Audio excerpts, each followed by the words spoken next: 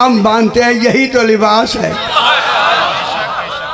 फिर छठे इमाम ने, अब जब बात आई, जरा ये भी मैं बता छठे इमाम सलाम ने फुरुए काफ़ी की छठी जल्द में फरमाया, लोगों, काबा और हरम बताया।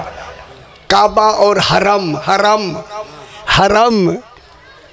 मुझे लुगत आती है तो मैं बड़े कंट्रोल से मैं पढ़ रहा हूँ, खुदा गवाह वरना कुछ और हो जाएगा। फरमाया जहाँ काबा है ना, जो काबा है, ये तो काबा है ना, जो काबा के चारों तरफ़ है, ये हरम है, काबा नहीं। जो बाहर है ना, चारों तरफ़, ये हरम है, ये हलवे वाली ख्याल करे, हरम है, काबा नहीं। इसलिए फिर मिसाल दी, जो हरम में है, वो काबा में नहीं। जो काबा में है, हरम में भी है। हाय हाय हाय। खुश हो जो हरम में है, वो काबा में नहीं।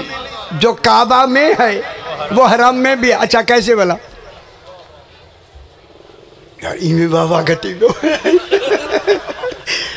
यानी आखिर हरम से गुजर के ही काबा में आएगा ना।